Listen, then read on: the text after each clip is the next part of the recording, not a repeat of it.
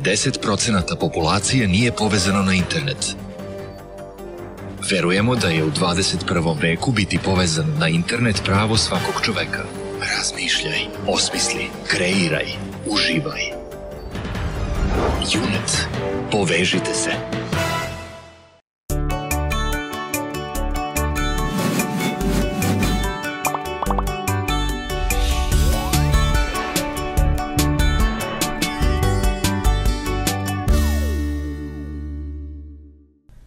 Izložbom učeničkih radova i svečanim programom Politehnička škola obeležila je dan škole, a ujedno i 20. godišnicu promene imena iz Građevinska škola 18. novembar u Politehnička škola. Politehnička škola upisuje učenike na četiri područja rada. Trenutno u ovoj obrazovnoj ustanovi nastavu pohađa oko 660 đaka na tri jezika. Direktor Isa Planić podsjeća da srednje stručno obrazovanje u našem gradu ima dugu tradiciju još iz 19. veka. Škola je od 1983. nosila naziv Građevinska škola 18. novembar. U sadašnjoj zgradi nalazi se već 30 godina, a 2002. je dobila naziv Politehnička. Ja sam ponosan na đake Politehničke škole koji su, eh, koji su nakon svih ovih decenija postojanja naših struka postali ugledni građani ove zemlje, koji su, neki od njih su vrstni stručnjaci, dobre zanatlije, neki od njih su postali univerzitetski profesori, neki su postali jednostavno ugledni, ugledni građani ovog, ovog, ovog grada i ove, ove zemlje. Sa druge strane, zaposleni u Politehničkoj školi ispoljavaju jedan izuzetan entuzijazam, vole svoju školu i rado rade u njoj, i to se po ovoj školi čini mi se i vidi. Povodom dana škole izloženi su radovi učenika Politehničke škole sa kojima će se predstaviti na projektnoj nedelji, a prikazani su i likovni radovi. Čas da prikaže sve ono što je natetala tokom školovanja imala je učenica trećeg razreda Majda Vik. Pa na slikama mogu da vide sve i svašta. Uglavnom me zanima akt, e, anatomija i tako to. E, naravno ima i mrtve prirode, to je obično postavljeno na času da radimo. Svečanoj akademiji povodom jubileja škole prisustvovao je i gradonačelnik Subotice Stevan Bakić koji je istekao da je Politehnička škola ponos grada u oblasti obrazovanja, te dodao da će lokalna samouprava nastaviti da pruža podršku u daljem razvoju. Inače, Politehnička škola je jedan od ponosa u oblasti obrazovanja grada Subotice i ono u narednoj školskoj godini će imati nove obrazovne profile u skladu sa nacionalnim modelom dualnog obrazovanja i potrebama našeg društva. Želeo bih da nastave i dalje sa svojim uspješnim radom, da postižu dobre rezultate. U okviru Dana Politehničke škole na otvorenom univerzitetu biće otvorena izložba profesora u penziji Murenji Maćaša. Gimnazija Svetozar Marković u narednu školsku godinu ulazi sa novim sportskim smerama. Upis za prvu generaciju učenika koja će pohađati sportsko odeljenje trajeće od 21. do 23. maja. Specijalističko sportsko odeljenje pohađaće 20 učenika koji će nastavu slušati na srpskom nastavnom jeziku. U gimnaziji se i sada obrazuju brojni uspešni sportisti poput džudiste Matije Borojevića i gimnastičara Filipa Kulića koji pozivaju i druge sportiste da upišu novi smer. Ako žele da uspeju u sportu nadalje, da sigurno treba da upišu ovaj smer jer im škola nudi e, dovoljno obrazovanje odnosno na ostale škole. Mislim da je ovo super prilika za e, đake koji treniraju neki sport, jer ovim, dok, kad idu u ovaj smer mogu da nastave svoju sportsku karijeru, a u isto vreme da upišu dobru školu. Odeljenje učenika sa posebnim sposobnostima za sport za cilj ima unapređenje kvaliteta obrazovanja i vaspitanja đaka sportista i budućih studenta visokoškolskih ustanova, a posebno onih koji će se školovati za trenere, sportske novinare i profesore fizičkog vaspitanja.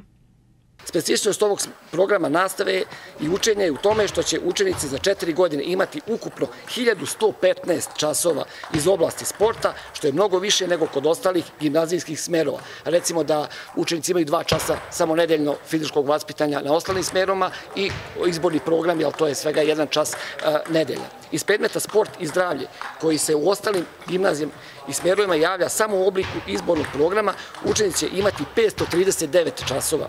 Drugi predmet specifičan za samo za učenike ovog odeljenja je sport i trening koji je zastupljen sa 576 časova. Plan i program nastave vrlo je ozbiljan, što znači da će moći da upišu bilo koji fakultet, dodaje Jotanović. Upis će trajati od 21. do 23. maja, a učenici će morati da polaže i malu maturu. Za upis će biti potrebno, znači polagaće maturu klasičnu i e, morat će da imaju potvrdu iz sportskih klubova, ovaj, o, znači da su aktivni sportisti i još jedna stvar je bitna da će učenici koji su e, u reprezentaciji, članove reprezentacije dobijati 10 bonus bodova, znači da budu na neki način ovaj, vrednovani za te svoje rezultate. Iz rukovodstva gimnazije poručuju da su za novi smer u potpunosti spremni. Mi imamo potrebne kadrove, imamo potrebna sredstva, sve u školi što je, potrebno za takvo odeljenje, tako da smatramo da ćemo bez problema narednih četiri godine izvesti prvu generaciju maturanata na sportskom odeljenju, odnosno sportskog odeljenja. Pavlović dodaje da novo odeljenje nije jedina promena od školske 2022-2023. Gimnazija će umjesto do sadašnje četiri odeljenja društveno-jezičkog smjera na srpskom upisati tri. Tehnička škola Ivan Sarić u novu školsku godinu upisuje 420 učenika u 14 odeljenja na tri područja rada. Budućim prvacima nude i novi obrazovni profil koji je otvoren u skladu sa zahtevima privrede, tehničar za dizajn u mašinstvu. Prva generacija tehničara za dizajn u mašinstvu će u školski klub sesti ovog septembra. Iz Tehničke škole Ivan Sarić pojašnjavaju da je u pitanju obrazovni profil koji se u Srbiji upisuje po prvi put, ali da se zapravo radi o dogradnji već postojećeg smera mašinski tehničar za kompjutersko konstruisanje. Ovo je neka nadogradnja za, za njima, jer smo videli na, na zajednici mašinskih škola Republike Srbije, a, videli smo da nam privreda traži da, da pored znanja i veština koji, koji taj obrazovni profil treba da ima, mora da ima i notu jednog likovnjaka. Mora da ima notu malo, malo više da zna, lepše da dizajnira. Recimo, vi znate da, recimo, automobilska industrija se širi i velika ekspanzija u izradi aerodinamici i tako dalje. Znači, mora, taj novi tehničar će morati da ima kao malo te umetničke duše, da moraće da znati malo nekako to i estetski da približi i da jednostavno budućnost privrede u tom smeru da, da jednostavno dizajn je, je veoma krucijalan i bitan ovaj segment i čini od svakog dela iz sklopa. Škola se priprema za upis đaka u osam odeljenja na srpskom nastavnom jeziku i šest na mađarskom, a osmacima nude područje rada mašinstvo i obrada metala, elektrotehnika i saobraćaj. Kao što vidite, e, škola e, ide u tom pravcu, znači mi želimo da zadovoljimo i potrebe privrede našeg regiona na s jedne strane, a sa druge strane i neke želje učenika i njihovih roditelja da pratimo sve tokove i one profile koji su nam aktuelni, a i one profile koji su potrebni e, jednostavno da zadovolje privredu. Sagovornik dodaje da najveće interesovanje uvijek vlada za elektrotehničarem informacijonih tehnologija, potom za smerom elektrotehničar računara, tehničar mehatronike, ali su i saobraćeni smerovi uvijek popularni. Upisujemo dakle e, kompletna odeljenja i tehničara druskog saobraćaja i vozača motornih vozila ili je veoma interesantan jer kod nas učenici u toku ovaj, e, svog školovanja mogu polagati za B kategoriju, odnosno stiču pravo polaganja za B kategoriju, tehničari, dok vozači nam polažu za C kategoriju, odnosno za C1 kategoriju, a nakon godinu dana mogućnosti dobijanja C kategorije, što je vrlo interesantno, jer u današnje vreme vi već čujete da će B kategorija biti minimum 100.000 dinara, a C kategorija će ići sigurno na 200-250.000 dinara, a to u našoj školi jednostavno učenici dobiju potpuno besplatno. Tehnička škola Ivan Sarić organizuje otvorena vrata 10. maja, a istog dana će početi i projektna nedelja. Učenici četvrtog razreda osnovne škole Boško Palkovjević-Pinki iz Sremske Mitrovice, predvođeni učiteljicom Snežanom Sladojević, veliki su humanitarci i do sada su učestvovali i organizovali nekoliko humanitarnih akcija, među kojima su i akcije za decu sa Kosova i Metohije. Na obostranu radost ove godine u junu mesecu mali Pinkijevci imaće priliku da decu sa Kosova i Metohije ugoste u svojim domovima, a danas su im iz svoje škole poslali razglednice. Zdravo, ja sam Jana, jedva čekam da dođete. Bićemo dobri drugari i igraćemo se po ceo dan. Imam dva zamorca koja puno volim. Mislim da će se i tebi svideti. Humanitarni rad učenika Pinkijeve škole podržala je turistička organizacija grada Sremska Mitrovica, koja će početkom juna ugostiti goste sa Kosova i Metohije u turističkom infocentru.